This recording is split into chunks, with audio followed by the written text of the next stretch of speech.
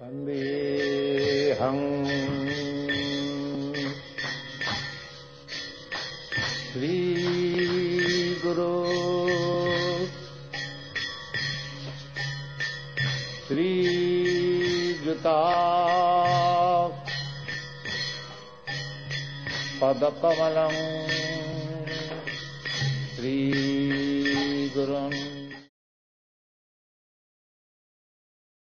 Mukam karadi bachalam pangam langai te girim jat kripa tamaham bandeg shri gurum dinatarinum om agyana timananda sagyana jana shalakaya chukshushan malidanyan tashma shri gurave namaha. Namo Vishnu Padaya Krishna Prasthaya Bhutale Shamadi Bhakti Vedanta Swami Te Namane. Namaste Saraswati Deva Gaudavani Pracharne Nivada Visheshashan Navadi Prashtata Deshtarne Welcome to Unit 1 of Bhakti Shastri Online. In Unit 1, we'll be studying Bhagavad Gita as it is, chapters 1 to 6, translation and commentary by ISKCON's founder Acharya Srila Abhay Charanaravinda Bhaktivedanta Swami Srila Prabhupada. In the introduction to Bhagavad Gita as it is, Prabhupada has included uh, Sri Adi Shankaracharya's Gita Mahatmya. Let's chant a few verses from the Gita Mahatmya. Mala nirmochanam pungshang jalashnanam dine dine sakrit gitamrita snanam shangshara malanashanam one may cleanse himself daily by taking a bath in water, but if one takes a bath even once in the sacred Ganges water of Bhagavad Gita, for him the dirt of material life is altogether vanquished. Gita Sugita Karta Bhyakimyanya Shastra Vishtarai Yashwayam Padamanabhasham Mukapadma Vinishrita. One need only attentively and regularly hear and read Bhagavad Gita. One need not read any other Vedic literature because it is spoken by the Supreme Personality of Godhead. Bhagavad Gita is the essence of all Vedic literatures. Sarvopani Shirogabo Dogdha Gopalanandana Parthavatsa Sudhir Bhokta Dugdam Gita Amritam Mahat. The Gita Upanishad, Bhagavad Gita, the essence of all the Upanishads, is just like a cow. And Lord Krishna, who is famous as a cowherd boy, is milking this cow. Arjuna is just like a calf, and learned scholars and pure devotees are to drink the nectarian milk of Bhagavad Gita. Srimad Bhagavad Gita ki, Srila Prabhupada ki. Let's take a closer look at the preface to Bhagavad Gita as it is. Prabhupada wrote this preface in 1971 in May in Sydney, Australia. And in the preface, Prabhupada reveals some very significant points which uh, shed light on his uh, mission, uh, specifically in providing Bhagavad Gita as it is, and his general mission of spreading Krishna consciousness all over the world, and the specific uh, role that Bhagavad Gita plays in that overall mission of Srila Prabhupada. So Prabhupada's explaining that his purpose is to present the will of Krishna as it is. And therefore, Prabhupada subtitles his Bhagavad Gita with the subtitle as it is, indicating that, as Prabhupada writes on the top of page X1X in the preface, our only purpose is to present Bhagavad Gita as it is in order to guide the conditioned student for the same purpose for which Krishna descends to this planet once in a day Brahman. What's, what is that purpose? That's very clearly explained by Prabhupada also here in the preface over the page that uh, the highest perfection of life is instead of satisfying one's own personal material senses, he has to satisfy the senses of the Lord. That's Krishna consciousness, devotional service to Krishna. And the Lord wants this, He demands this. Mam ekasharana, surrender unto me. One has to understand the central point of Bhagavad Gita, and our Krishna consciousness movement is teaching the central point of the Bhagavad Gita because we're not polluting the theme. So, this is very pre- predominant uh, component, aspect, angle of Prabhupada's Bhagavad Gita as it is, that is very, very much in alignment with Krishna's original purpose of coming to reclaim the fallen conditioned souls and speaking Bhagavad Gita for that purpose. And Prabhupada is explaining that uh, he's presented Bhagavad Gita particularly in line with this intention of Krishna to induce the uh, forgetful conditioned souls to revive their relationship, loving uh, relationship with Krishna as his eternal servants. To authorize the activities of ISKCON, actually at the time in the early 1970s, ISKCON was still a very uh, uh, a new movement and was not uh, known so much in the Western world. It was not even understood as being a very ancient uh, spiritual uh, process. And therefore, the Bhagavad Gita plays such a significant uh, contribution in authorizing the activities of the Krishna consciousness movement based on statements Krishna makes. Satatam kirtayantamam. The devotees are always chanting Krishna's names. Uh, manmana, they're always thinking of Krishna. Uh, Bhavamad Bhakta Mam Namaskuru, worship me, bow down to me. All of the activities of the Krishna consciousness movement, we see their roots, we can see their authority in the statements that Krishna makes in the Bhagavad Gita. Patram pushpam palam toyam yomi bhakta prayachati. You offer me fruits, leaves, flower, water, I will accept it. Deity worship. Uh, acharya upashanam, accepting a, a, spiritual master. Evam param param prabdam, I can be received, I can be uh, uh, attained through the parampara system. So many of these important principles of Bhagavad Gita, which authorize, which give evidence, the Shastric evidence to the day to day activities that we're performing in the Krishna consciousness movement. And this way, the book authorizes our activities, and as Prabhupada mentions here, in order to establish the Krishna conscious movement more soundly and progressively. Our Krishna consciousness movement is genuine, historically authorized, and natural and transcendental due to it being based on Bhagavad Gita as it is. To create a whole society which uh, follow Bhagavad, follows Bhagavad Gita, Prabhupada's explaining that anyone, this is toward the end of the preface, anyone seriously interested in deriving benefit by studying Bhagavad Gita must take help from the Krishna consciousness movement for practical understanding.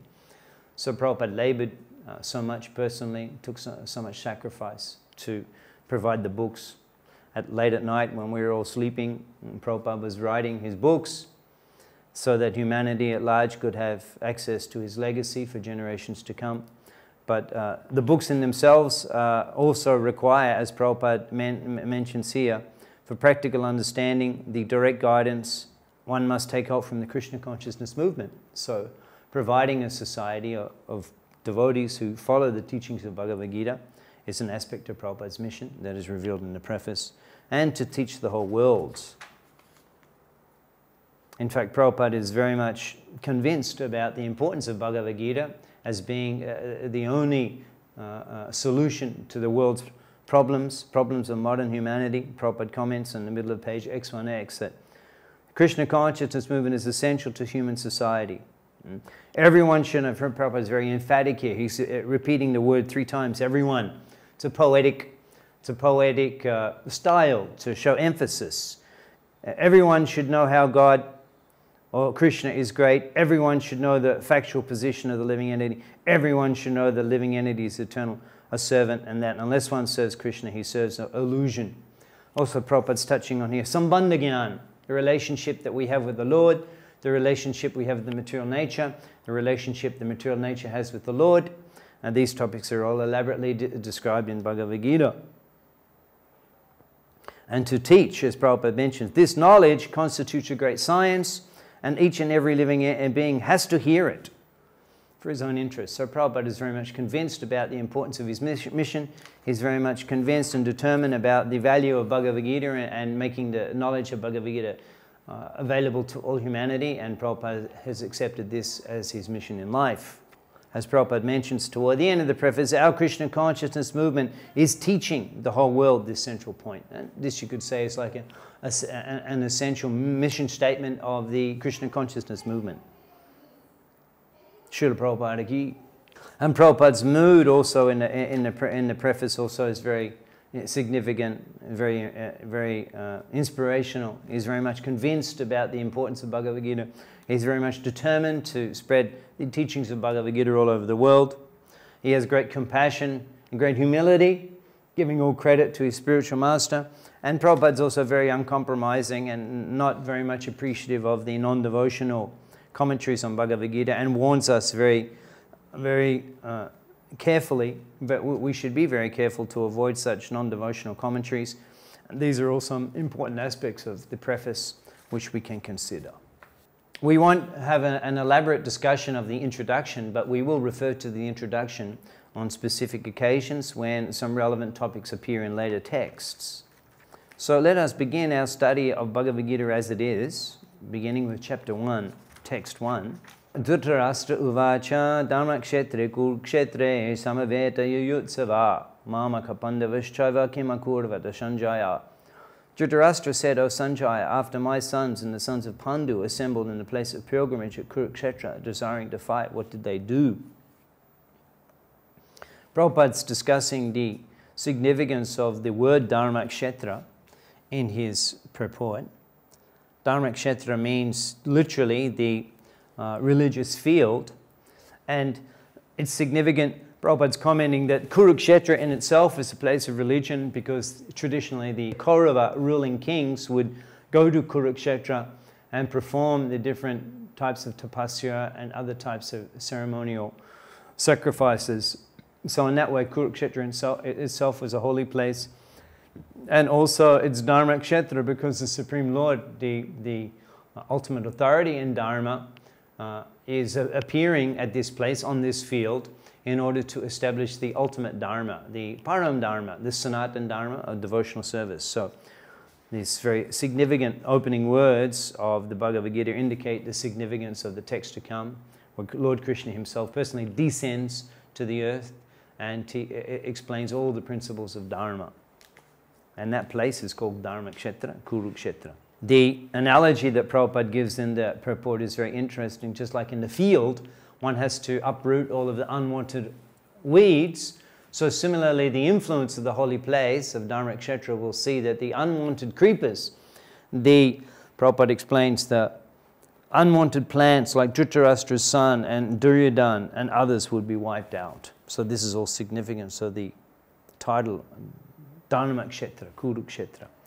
In verses 3 to 11, different aspects of Duryodhan's diplomacy are revealed. The word diplomacy actually is a Greek word, uh, coming from the Greek word diplos, meaning something with two sides, like we have a diploma, uh, meant a folded piece of paper with two sides. So dip diplomacy. And we're looking here, uh, uh, the opening verses of the Gita are describing the nature, the, the qualities, the character of Duryodhan, in that he's prepared to say anything in order to get alliance and have his agenda uh, maintained and appreciated by his supporters. And uh, he will say anything in order to ensure their support. So this type of uh, uh this type of, you could say, manipulative uh, leadership is, is being indicated in the uh, comments that he makes. We'll, we can analyze some of these comments. In text 3, Drupad putrena tavashishya dimataha.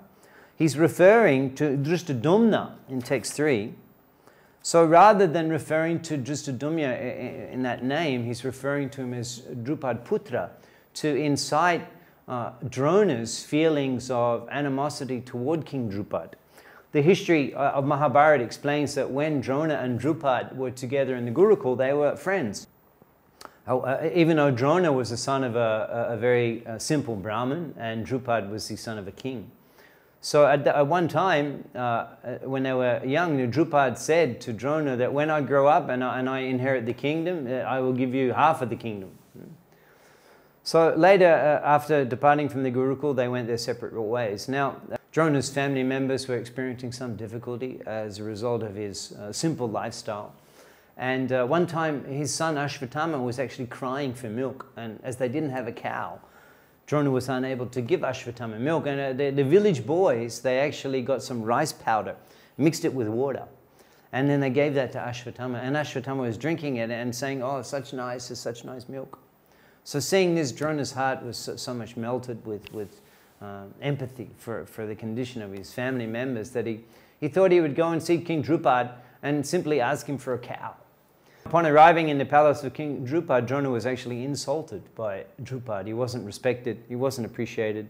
Drupad said that uh, friendship only exists among equals, so you, you cannot consider yourself my friend being such an impoverished person. He didn't properly uh, host Drona. Drona was accommodated in the outside barn, and uh, in this way, Drona was very much uh, offended.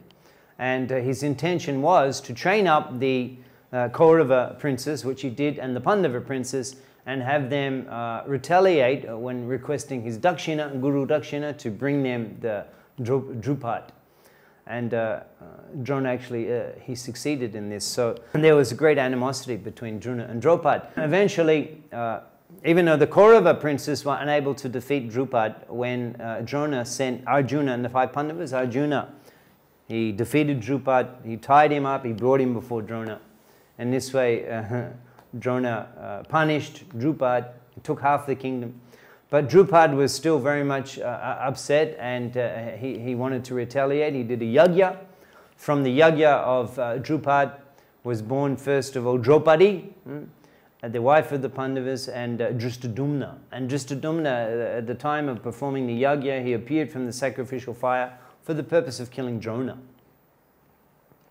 So here in the verse, uh, uh, Duryodhan, he is, he is inciting the, uh, these previous uh, ill feelings that Drona had with Drupad and referring to the general of the Kauravas armies as Pandava Putra, Pandu Putra, uh, Drupad Putra, and Tava Shishya, your disciple Dhimataha.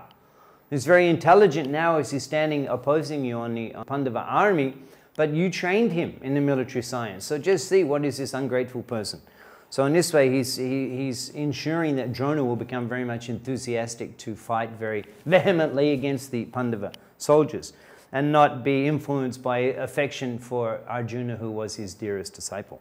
Prabhupada actually comments about this nature of Duryodhana, a very liberal nature of a Brahmin, and this is the ideal nature of a Brahmin. Uh, in the purports, Prabhupada gives the example of the sun which uh, shines everywhere in everyone's courtyard, regardless of uh, whether the person is a sinful person or a pious person. This is a liberal nature of the sun. Similarly, the Brahmin will give transcendental knowledge, that's the duty uh, to any inquiring student, regardless of uh, circumstances that may lead to, which may not be favorable for that uh, Brahmin. But they're not concerned with that. The Brahmin is concerned with giving transcendental knowledge. And uh, in this way, Drona is considered an ideal Brahmin. Prabhupada comments, Dronacharya knew that Drupad Maharaj has got his son. In the future, he would kill me. Still, when he was offered to become his disciple to learn military art, he accepted, yes. That means the Brahmanas were so liberal. When he is coming as my disciple, never mind. He would kill me in the future. That doesn't matter, but I must give him, give him teaching. In text 4, here in this army are many great heroic moment equal in fighting to Bhima and Arjuna, great fighters like Yuyudhan, Virat and Drupad. The Prabhupada's commenting on the names mentioned here. He mentions particularly Bhima and Arjuna because they were such formidable foes. Arjuna was able to go to the heavenly planets and acquire these celestial weapons from Lord Shiva. Pashupati Astra. He defeated Lord Shiva in battle.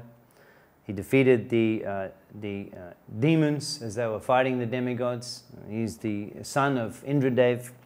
And Bhima, well, Bhima took a very ferocious vow, a very terrific vow at the time of the disrobing of Draupadi.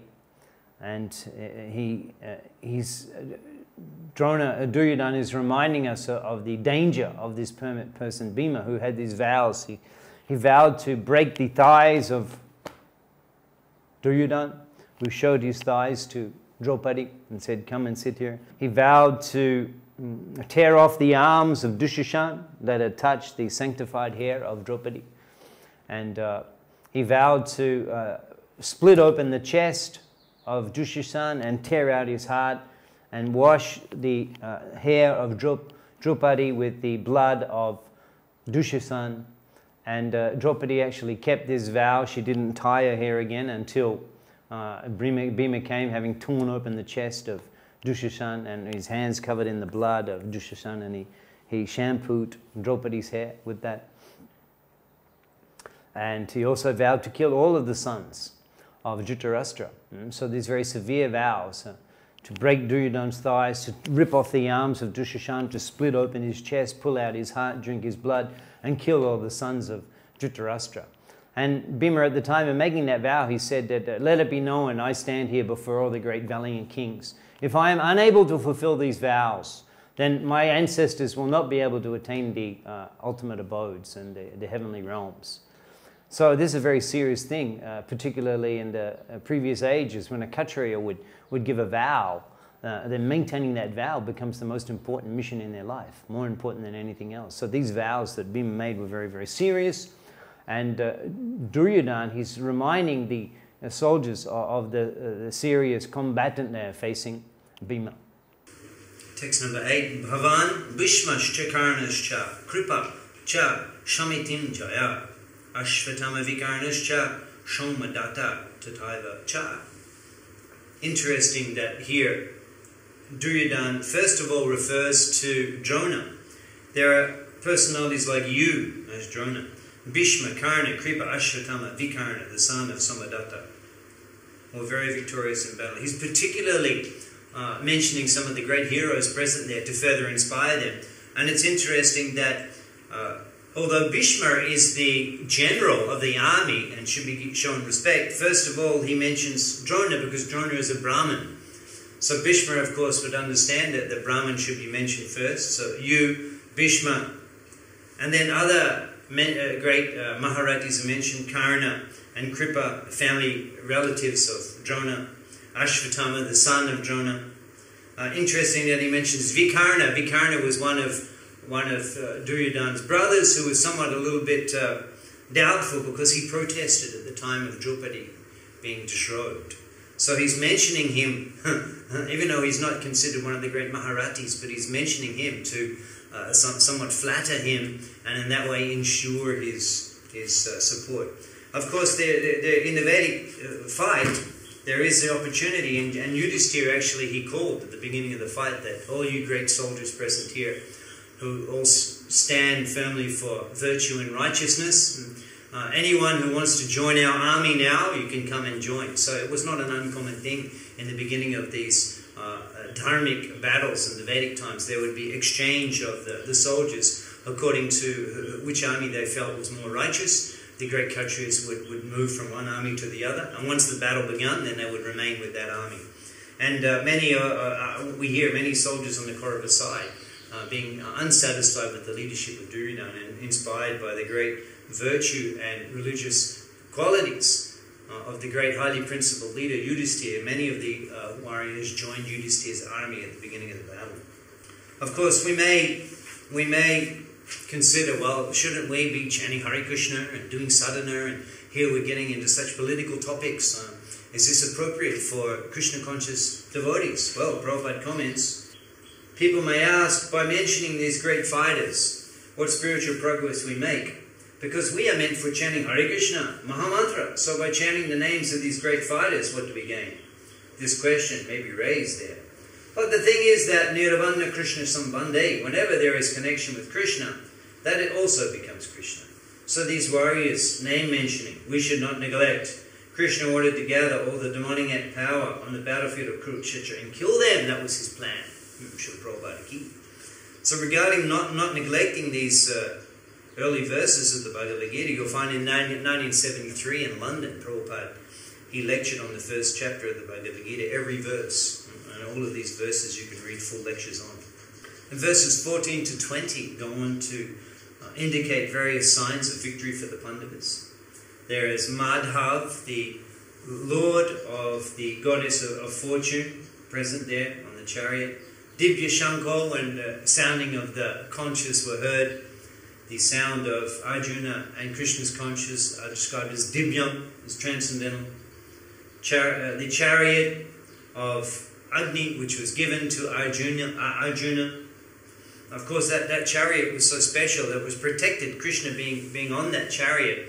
So many astras, weapons, were let loose by the Kaurava army. Uh, uh on the chariot and struck the chariot of Arjuna, but because Krishna was present there, they were unable. The weapons were unable to damage the chariot.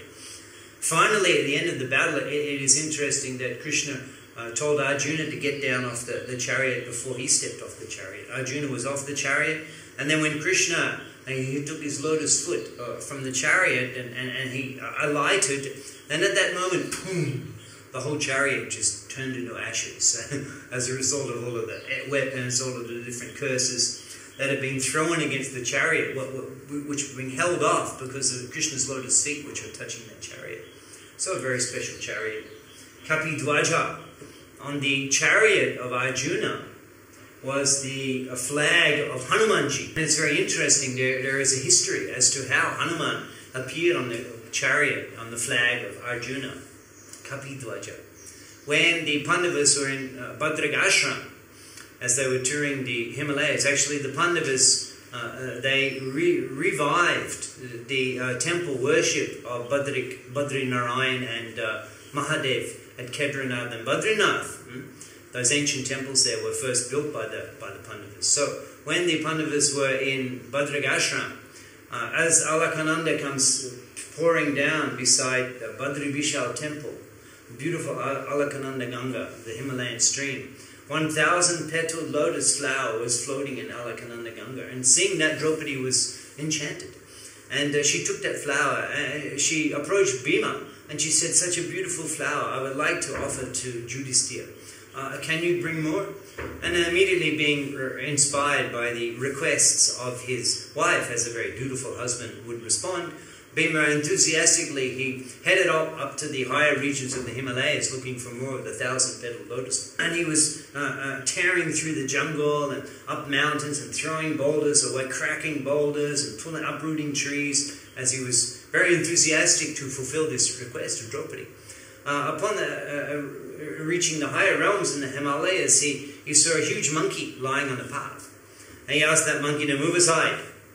And the monkey said, I'm so tired, I'm not moving anywhere, just step over me. Bhima was not so inclined to step over the monkey. Because as uh, Rupa Goswami explains in Bhakti Rasamrita Sindhu, in the uh, Shadana Angasa items of Sadhana Bhakti, the Pranamatre, Manodbhakye, Udveganadiva, Pranamatra, even a very insignificant living entity. Manobhakye, not either by our words or by our mind, udveganadiva, should we act in a way to disturb even a, a, a, very insignificant living entity? So he didn't want to disrespect that monkey by jumping over him.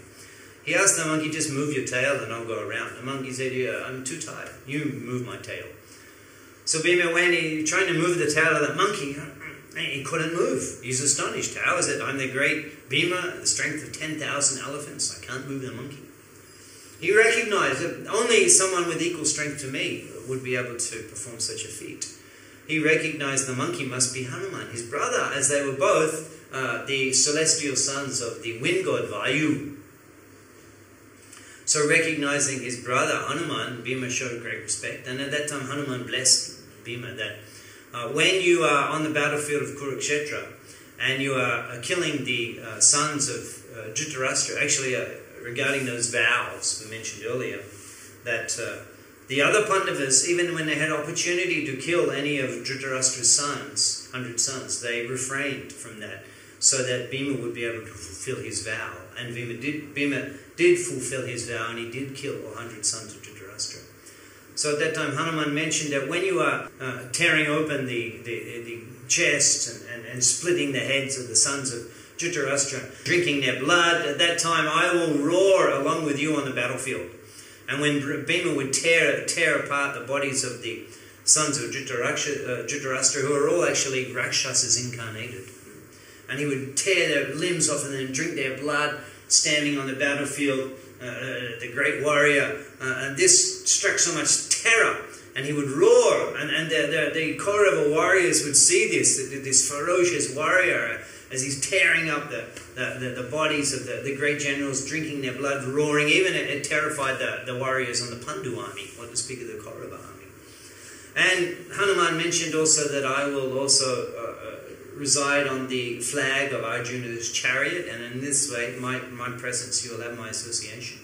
And Prabhupada's commenting about the nature of Vaishnava is to take shelter of the previous acharyas. So, in the fighting principle, Arjuna is fighting for Krishna. He is following the previous fighting Acharya Hanumanji. Therefore, he has depicted his flag with Hanuman. That Hanumanji, Bajranga Ji, kindly help me. This is Vaishnavism. I have come here to fight for Lord Krishna. And you fought, you fought also for the Lord. Kindly help me. that, that is the idea. Kapidoj. So any activities of the Vaishnava, they should always pray to the previous Acharya, kindly help me kindly. This is Vaishnava. Vaishnava is always thinking himself helpless and begging help from the previous Acharya. The topic under discussion here is the Battle of Kurukshetra, we'll see the discussion between Arjuna and Krishna based around the issue of fighting. And the topic has many angles which need to be clearly understood. How is it possible? Uh, the issue here that, that we're going to be looking at over the next few lessons is how is it possible that uh, Lord Krishna, who is all loving and full of mercy, is actually so determined to induce Arjuna to fight in the battle? And how is it that the Vaishnava should actually be involved in these political intrigues? Uh, this seems to be some, somewhat of a compromise from the, the spiritual standards, where one should be detached from politics, etc. So this has to be understood very clearly, and this is a very central theme of the Bhagavad Gita, which we'll be examining over the next few lessons. Prabhupada's commenting. There are two missions, not only to give protection to the devotees, but also to kill the demons. So the devotees of Krishna should be trained up both ways, not only to give protection to the devotees, to give them encouragement, but if need be, they should be prepared to kill the demons. This is Vaishnavism. Taken on face value, one may misunderstand Prabhupada's comment here and think this is some type of legitimization of militaristic activities uh, amongst the followers of Srila Prabhupada. Uh, and uh, this is not exactly uh, how we should understand the statement here. Uh, basically, because uh, in, in, in addition to the principles of spiritual life and our eternal Sanatan Dharma, we also need to follow Sanatana Dharma in consideration of the loka vichar, or the considerations of the social environment, the legal environment, the circumstances that we find ourselves in, and this can't be completely ignored. Rupa Goswami also explains in the Bhakti Rasamrita Sindhu that one should deal with the material world as much as necessary, not overly absorb oneself in the material world, and not be overly neg- negligent also. So, because, and particularly in these modern times, uh, if we were to function in this way and uh, engage in militaristic activity, then that would be detrimental for the spreading of Krishna consciousness movement, as it would cause a lot of trouble uh, legally for our movement, and perhaps we could be prevented in many cases being somewhat of an extremist type of a movement, uh, and uh, that would be uh, unfavorable for spreading Krishna consciousness. So this is not an activity that we are particularly promoting. The devotees should be prepared and training themselves to kill the demons. Hmm? Rather, uh, we spread Krishna consciousness in a very uh, compassionate way, and uh, we don't engage in political or other type of uh, violent activities. However, in principle, um, the devotee is prepared to do anything that Krishna wants. And we'll see that because Krishna desired the battle, and we'll see how is it that Krishna desired the battle, because ultimately beneficial for everyone involved, and in that way, uh, the devotee is prepared to do whatever Krishna wants. Prabhupada continues. Generally, a Vaishnava is non-violent, just like Arjuna. In the beginning, he was non-violent. He said, Krishna, what is the use of this fighting? Let them enjoy. So by nature, he was non-violent. But he was induced by Krishna to become violent. Your non-violence will not help. Your you become violent, I kill them. You, you become violent, you kill them, I want it. So if Krishna wants, we shall be prepared to become violent. This is a principle. We'll do whatever Krishna wants, and we know that that is the highest principle of religion. So those who are devotees of Krishna, they should be trained up both ways. They should be prepared, but generally there's no question of becoming violent unnecessarily. Of course, if the devotees are attacked, if the uh, temple is attacked, if they're uh, in that way uh, a great uh, threat, then naturally the devotee must take all means to protect the devotees and protect the uh, interest of the Lord. And if that requires violence to do that, then uh, the devotee shouldn't be averse to doing that. In texts 21 and 22, we see Lord Sri Krishna first appearing in the Bhagavad Gita. And it's very interesting the uh, moment that Krishna uh, appears, he is serving his devotee. Arjuna Uvacha, Shenayo Ubayo Madhye Radam Shtapaya Me Chuta Yavaretan Niriksheham Jutakamam Avashtitan. Arjuna is, he's actually ordering Krishna. Arjuna Uvacha, Shenayo Ubayo Madhye, between the two armies, Ratam Shtapaya Mechuta. Hey Achyuta, you place the chariot between the two armies so I can see all of those who have assembled here. Prabhupada's commenting in the purport the significance of this incident, where the devotee, who's the insignificant subordinate of the Lord, uh, he's actually ordering the Lord. Now, how is it possible? This is possible because Arjuna's relationship is a special type of relationship. It's called prema bhakti. And particularly in this type of, uh, of relationship with Krishna, uh, one is not so much concerned about the uh, formal position of Krishna and his opulence as the Supreme Personality of Godhead. Arjuna is relating to Krishna directly as a friend. And later in the fourth chapter, Krishna himself, he acknowledges Arjuna's position as his friend. Bhakto shime shakacheti rahasham hi etad uttamam. Because you're my devotee, Shaka, and my friend, you can understand the transcendental mystery of this science. Prabhupada's commenting in the purport. The relationship between the Lord and his servitor is very sweet and transcendental. The servitor is always ready to render service to the Lord, and similarly, the Lord is always seeking an opportunity to render some service to his devotee. He takes greater pleasure in his pure devotee assuming the advantageous position of ordering him than he does in being the giver of orders. Prabhupada told a story in this connection about Prime Minister Gladstone, who was the Prime Minister of England when Prabhupada was a, a young youth, uh, before Churchill, before the Second World War. Prabhupada wasn't a young youth he was a young man. Prime Minister Gladstone, the Prime Minister of England uh, prior to Churchill, when Prabhupada was a young man. So Prabhupada heard this story about the Prime Minister of England, that the ambassador from Germany had come and was waiting outside his office. And the secretary mentioned German ambassador has come. It was a very important meeting. Actually, they were on the brink of a world war. And uh, Gladstone was saying, okay, just, just wait, just wait. So the ambassador is sitting and he's waiting and looking at his clock, looking at his watch, and sitting and waiting, waiting a long time 40 minutes, one hour, one and a half hours. Eventually, he kept saying to the secretary, How long? And the secretary saying, Well, just now coming in. He couldn't wait any longer. And he went and he, he opened the door of the Prime Minister's office and he saw Prime Minister Gladstone down on his hands and knees on the floor of his office, imitating a horse. And sitting on his back was his grandson, who had a, a, a stick in his hand and he was he was smacking the prime minister on the rear, rear end, uh, saying, Giddy up, giddy up. And the prime minister in this day was, was enjoying playing as a horse with his grandson. This is very relishable because all of the official work and the, the, the policies and the diplomacy, etc., is quite a headache. And when he gets a chance to forget all that and just play, uh, he actually enjoys that more. Prabhupada is using this example to describe to us the nature of Lord Sri Krishna, that Majtani Sarvabhutani, even though the entire world is resting in him and he's completely in control of everything, na chaham teshu avashtitaha. He's actually not in the material world. He's not so much involved in the material world. Krishna is completely absorbed in reciprocating as Braja Bihari, enjoying in Vrindavan with his devotees. And uh, this relationship between Arjuna and Krishna is such a relationship, The Gaurava Shakya Prema.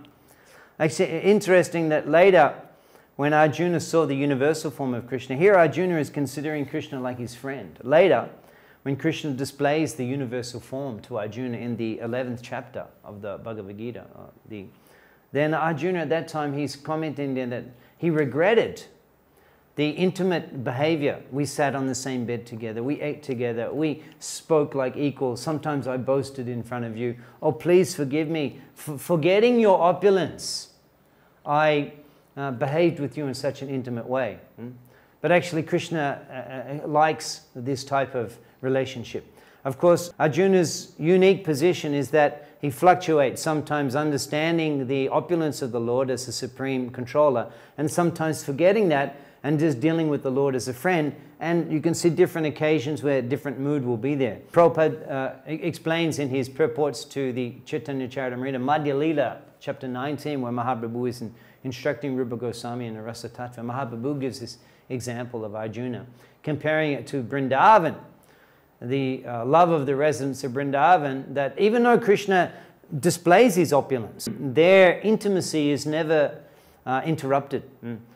Kevala Shuddha Prem, Arshajana Janle, Arshaja Dekleo, nija shambanda shemane. Dekleo, in the case of Krishna demonstrating his opulence to Maya Jasoda and, and showing the universal form within his mouth, uh, momentarily Maya Jasoda is thinking philosophical uh, uh, some thoughts philosophically, and then she immediately snap out of a woman. You're, you're here with your baby, is your son. Uh, you have to feed him, you have to dress him. Uh, uh, these, even though Krishna shows his opulence, the Brajabasis they never consider him God because they're so much merged in their love for Krishna as the Gopal, the cowherd boy, Nanda Dulal. Iti driksale ananda kunde swago shamnima jantam akyapayantam. Tadiyeshita gyeshu bhakte chitatvam. Uh, the Tadiyeshita, those who are worshipping the Lord, understanding His opulence, bhakti chitatvam. In this Damodar Leela, we are seeing that Krishna is actually conquered by love and affection rather than reverence. And these interesting points are introduced very early in the study of Bhagavad Gita. In our first session today, we were discussing the situation on the battlefield of Kurukshetra, Duryodhana's diplomacy, and the signs of victory for the Pandavas, and we also discussed uh, some very significant comments Srila Prabhupada makes in his preface to Bhagavad Gita as it is, which revealed his broad mission for spreading Krishna consciousness all over the world and the uh, role that Bhagavad Gita as it is plays in the fulfillment of Srila Prabhupada's mission. In our next session, we'll be concluding the first chapter, and we look forward to seeing you then. Thank you, Srila Prabhupada Ki Jai, Hare Krishna. And we can conclude with this comment from, from Prabhupada. If one adopts the principles enunciated in Bhagavad Gita, he can make his life perfect and make a permanent solution to all the problems of life. This is the sum and substance of the entire Bhagavad Gita. Srila Prabhupada ki